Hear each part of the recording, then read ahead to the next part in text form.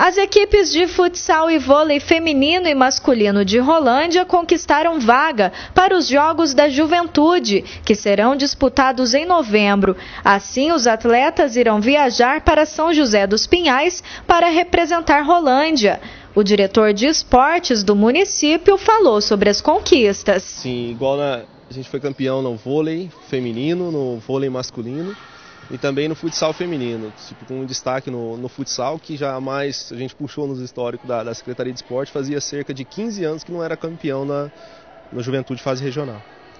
E as equipes aí de vôlei também representando, e elas já eram campeãs há alguns anos atrás. Sim, o vôlei sempre vem lutando e o vôlei feminino principalmente foi uma conquista ganhou do, de Londrina na final, com Londrina com atletas de São Paulo, investiram forte e acabou perdendo para nós na, na final de 3 sets a 1. Agora, como é que é essa fase, esse novo campeonato? Sim, agora é a fase final, com certeza um nível bem mais forte, classificam só as campeãs de cada região, que são 12 regiões no Paraná. Vai ser realizado lá em São José dos Pinhais, né, em novembro. Aí classifica o campeão e o vice para a divisão A para o ano que vem daí.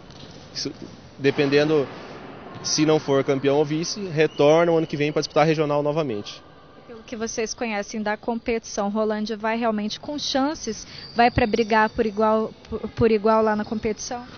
Sim, pelo que a gente tirou informações de outras equipes também, igual o nosso vôlei vai, vai bem forte, porque disputam a Liga Paranaense, o vôlei. As meninas aqui do futsal, é, a gente assim, foi uma surpresa muito grande, porque é um campeonato sub-17 e as meninas aqui são de categoria sub-15 e foi campeão em são meninas sub-17. Então foi uma surpresa para nós e lógico, e vamos em busca, não, não é impossível, né?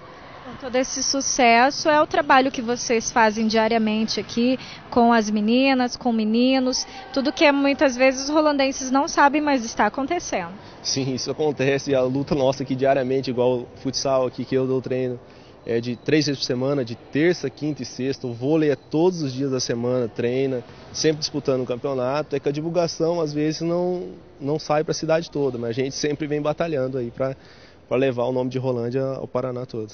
Bruno, esses resultados servem de incentivo para, de repente, adolescentes, crianças que estão em casa e querem é, realizar uma prática de algum esporte, querem se mexer aí, digamos. O que, que fazer? Qual o primeiro passo? Sim, a Secretaria de Esporte funciona diariamente, né, das 8 às 11, da, da 1 às 5 da tarde. Tem igual futsal feminino, tem futsal masculino, vôlei masculino e feminino, tem o futebol. A gente tem igual tem o próprio xadrez que também foi para a fase regional, ficou em segundo lugar, xadrez com destaque também. A gente tem essas modalidades, pode estar tá tirando essas crianças da rua ou crianças que não têm o que fazer em casa, os pais aonde deixar tem os treinamentos aqui na secretaria, é só procurar na secretaria cada professor de sua modalidade que estará passando a ficha de inscrição gratuitamente para começar a praticar esporte.